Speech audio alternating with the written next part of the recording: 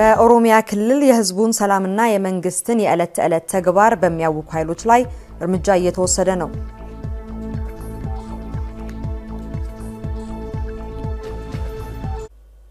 በኦሮሚያ ክልል የህዝቡን ሰላምና የመንግስትን የዕለት ተዕለት ተግባር በሚያውኩ ኃይሎች ላይ እርምጃ እየተወሰደ ነው። በኦሮሚያ ክልል የተለያዩ አካባቢዎች ጸረ ሰላም ኃይሎች በፈጠሩት ችግር 12 የፖሊስ አባላትና 29 ንጹሐን ዜጎች መሞታቸውን የክልሉ ፖሊስ ኮሚሽን አስታወቀ። የጸጥታ አካላትን ጨምሮ 139 ሰዎችም የመቁሰል አደጋ ደርሶባቸዋል ተብሏል። ሪፖርተራችን ብሩክታዬ ተከታዩን ዝርዝር አዘጋጅቷል። የክልሉ መንግስትም ሆነ የክልሉ ፖሊስ ኮሚሽን ለወራት ጉዳዩን በቅርበት ሲከታተለው እንደነበር የገለጹት ኮሚሽነር ጀኔራሉ በአፋጣኝ ወደ እርምጃ ያልተገባውም የሰላም አማራጮችን አሟጦ ለመጠቀም ነው ብለዋል። ሆኖም ትዕግስታችን ከፍተኛ ዋጋ እያስከፈለን በመሆኑ ከዚህ በኋላ ፖሊስ ኮሚሽኑ የቆመለትን ሰላም የማስከበርና የዜጎችን ደህንነት የመጠበቅ ኃላፊነቱን ይወጣል ብለዋል። ብዙ ጊዜ የወሰደው የትዕግስት አካሄዱ የከፋ ዋጋ አስከፍሎናል። እንደ ፖሊስም እንደዚህ 12 ፖሊሶች ህይወታቸው አልፏል።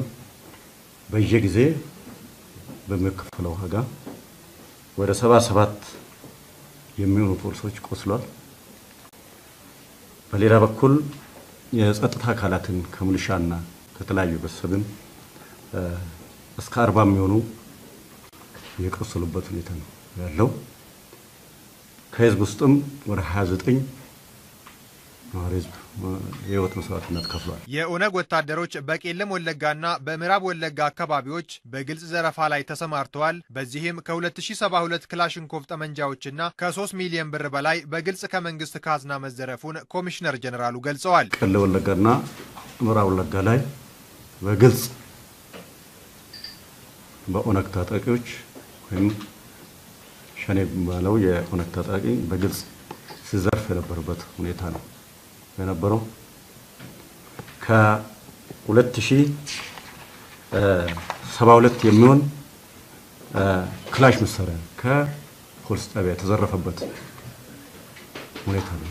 የምዕራብ ወለጋ አካባቢ ከመንግስት ካዚና ውስጥ ከባንክ ከሶስት ሚሊዮን በላይ ብር ተዘርፏል። ይሄ የግለሰቦችን ሳይጨምር ማለት ነው። የህግ የበላይነት በተረጋገጠበት ሀገር እንዲህ አይነት ህገወጥ ተግባራት ሊኖሩ አይገባም። በዚህ አይነት ወንጀሎች የተሰማሩ አካላትም ከድርጊታቸው ሊቆጠቡና ወደ ሰላማዊ መንገድ መምጣት እንደሚገባቸው የጠቆሙት ኮሚሽነር ጀኔራሉ ያ ካልሆነ ግን ፖሊስ የተጣለበትን ህግ የማስከበርና የዜጎችን ሰላም የመጠበቅ ኃላፊነቱን ለመወጣት ይገደዳል ብለዋል። ይህን ተግባራዊ ለማድረግም ለሁሉም የኦሮሚያ ዞኖች መመሪያ መተላለፉን በመግለጽ ህግ ባለበት መንግስት ባለበት የዚህ አይነት ድርጊቶች መደረጋቸው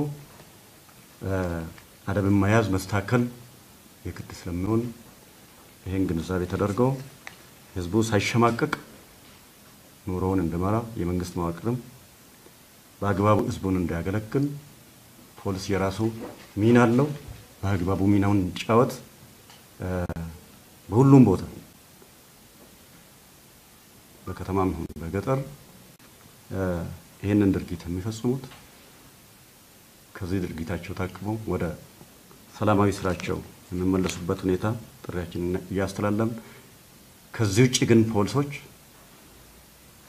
ለሁሉም ዞን መመሪያ ተላልፈው ህግን ጥሶ አካባቢን የሚያውኩት በህግ አግባብ ተለይቶ ስለሚታወቁ በቁጥጥር ስር ውሎ ጉዳያቸው በህግ የምታይበት ሁኔታዎች እንዲፈጽሙ የሚል መመሪያ የተላለፈላቸው የተላለፈላቸው መሆኑን ለማሳወቅ ሰሞኑን አባ ቶርቤ ወይንም ባለሳምንቱ በሚል መጠሪያ በድብቅ ሰዎችን በመግደልና በማስገደል ተጠርጥረው የተያዙ አካላትም ከኦነግ ጋር ግንኙነት እንዳላቸው ገልጸው በቀጣይም በድርጊቱ የተሳተፉትንም ሆነ ሲያስተባብሩ የነበሩ አካላትን በመለየት ለህዝብ ይፋ እንደሚያደርጉም ገልጸዋል። በዋናነት ምስራቅና ምዕራብ ኦሮሚያ ላይ እዚህ እየተወያዩ ታች ፖሊስን ሲገድል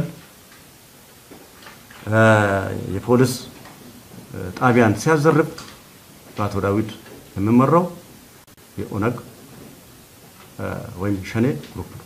በቀጣይም የክልሉን ሰላምም ሆነ የዜጎችን ደህንነት ለማረጋገጥ ፖሊስ እርምጃውን በተጠናከረ መልኩ እንደሚቀጥል ገልጸዋል። ከእንግዲህ የሕዝብን ደህንነት የሚያውኩ መንገድን በማዝጋት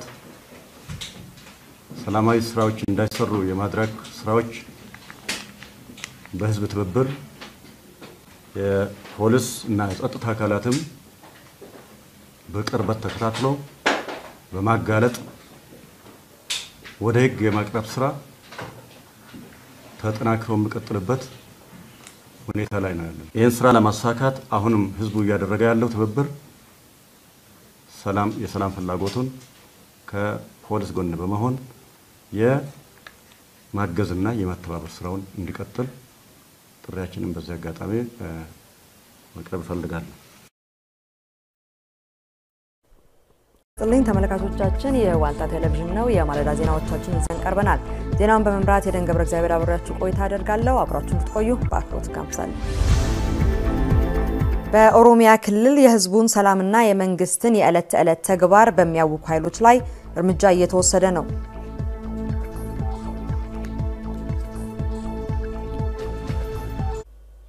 በኦሮሚያ ክልል የህዝቡን ሰላምና የመንግስትን የዕለት ተዕለት ተግባር በሚያውኩ ኃይሎች ላይ እርምጃ እየተወሰደ ነው። በኦሮሚያ ክልል የተለያዩ አካባቢዎች ጸረ ሰላም ኃይሎች በፈጠሩት ችግር 12 የፖሊስ አባላትና 29 ንጹሐን ዜጎች መሞታቸውን የክልሉ ፖሊስ ኮሚሽን አስታወቀ። የጸጥታ አካላትን ጨምሮ 139 ሰዎችም የመቁሰል አደጋ ደርሶባቸዋል ተብሏል። ሪፖርተራችን ብሩክታዬ ተከታዩን ዝርዝር አዘጋጅቷል። የክልሉ መንግስትም ሆነ የክልሉ ፖሊስ ኮሚሽን ለወራት ጉዳዩን በቅርበት ሲከታተለው እንደነበር የገለጹት ኮሚሽነር ጀኔራሉ በአፋጣኝ ወደ እርምጃ ያልተገባውም የሰላም አማራጮችን አሟጦ ለመጠቀም ነው ብለዋል። ሆኖም ትዕግስታችን ከፍተኛ ዋጋ እያስከፈለን በመሆኑ ከዚህ በኋላ ፖሊስ ኮሚሽኑ የቆመለትን ሰላም የማስከበርና የዜጎችን ደህንነት የመጠበቅ ኃላፊነቱን ይወጣል ብለዋል። ብዙ ጊዜ የወሰደው የትዕግስት አካሄዱ የከፋ ዋጋ አስከፍሎናል። እንደ ፖሊስም እንደዚሁ 12 ፖሊሶች ህይወታቸው አልፏል። በየጊዜ በሚከፈለው ዋጋ ወደ ሰባ ሰባት የሚሆኑ ፖሊሶች ቆስሏል። በሌላ በኩል የጸጥታ አካላትን ከምልሻና ከተለያዩ ቤተሰብን እስከ አርባ የሚሆኑ የቆሰሉበት ሁኔታ ነው ያለው። ከህዝብ ውስጥም ወደ 29 ነዋሪ ህዝብ የህይወት መስዋዕትነት ከፍሏል። የኦነግ ወታደሮች በቄለም ወለጋና በምዕራብ ወለጋ አካባቢዎች በግልጽ ዘረፋ ላይ ተሰማርተዋል። በዚህም ከ2072 ክላሽንኮቭ ጠመንጃዎችና ከ3 ሚሊዮን ብር በላይ በግልጽ ከመንግስት ካዝና መዘረፉን ኮሚሽነር ጀኔራሉ ገልጸዋል። ቄለም ወለጋና ምዕራብ ወለጋ ላይ በግልጽ በኦነግ ታጣቂዎች ወይም ሸኔ የሚባለው የኦነግ ታጣቂ በግልጽ ሲዘርፍ የነበረበት ሁኔታ ነው የነበረው። ከ2072 የሚሆን ክላሽ መሳሪያ ከፖሊስ ጣቢያ የተዘረፈበት ሁኔታ ነው። የምዕራብ ወለጋ አካባቢ ከመንግስት ካዝና ውስጥ ከባንክ ከሶስት ሚሊዮን በላይ ብር ተዘርፏል። ይሄ የግለሰቦችን ሳይጨምር ማለት ነው። የህግ የበላይነት በተረጋገጠበት ሀገር እንዲህ አይነት ህገወጥ ተግባራት ሊኖሩ አይገባም። በዚህ አይነት ወንጀሎች የተሰማሩ አካላትም ከድርጊታቸው ሊቆጠቡና ወደ ሰላማዊ መንገድ መምጣት እንደሚገባቸው የጠቆሙት ኮሚሽነር ጀኔራሉ ያ ካልሆነ ግን ፖሊስ የተጣለበትን ህግ የማስከበርና የዜጎችን ሰላም የመጠበቅ ኃላፊነቱን ለመወጣት ይገደዳል ብለዋል። ይህን ተግባራዊ ለማድረግም ለሁሉም የኦሮሚያ ዞኖች መመሪያ መተላለፉን በመግለጽ ህግ ባለበት መንግስት ባለበት የዚህ አይነት ድርጊቶች መደረጋቸው አደብን መያዝ መስተካከል የግድ ስለሚሆን ይህን ግንዛቤ ተደርገው ህዝቡ ሳይሸማቀቅ ኑሮውን እንዲመራ የመንግስት መዋቅርም በአግባቡ ህዝቡን እንዲያገለግል ፖሊስ የራሱ ሚና አለው። በአግባቡ ሚናውን እንዲጫወት በሁሉም ቦታ በከተማም ሆነ በገጠር ይህንን ድርጊት የሚፈጽሙት ከዚህ ድርጊታቸው ታቅበው ወደ ሰላማዊ ስራቸው የሚመለሱበት ሁኔታ ጥሪያችንን እያስተላለፍን፣ ከዚህ ውጭ ግን ፖሊሶች